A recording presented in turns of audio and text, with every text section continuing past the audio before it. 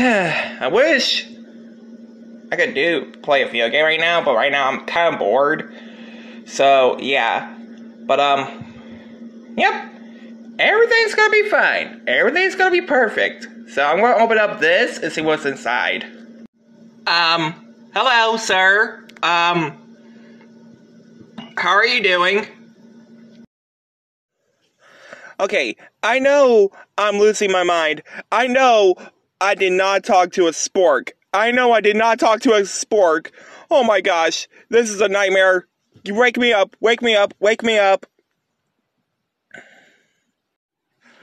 Also, Bert, how long has he been in the car exactly?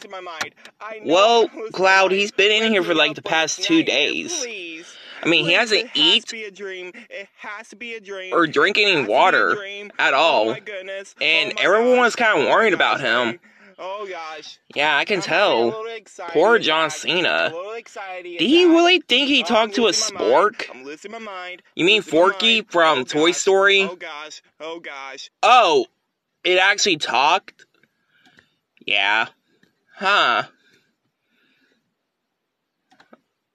Let's get John Cena back inside. Because he's really hungry. Kind of wants something to drink, like water. Or orange juice or something like that. No joke. Yeah, let's go ahead and get him inside. really talked to a spork, All right. and I know Come on, John Cena. I know I'm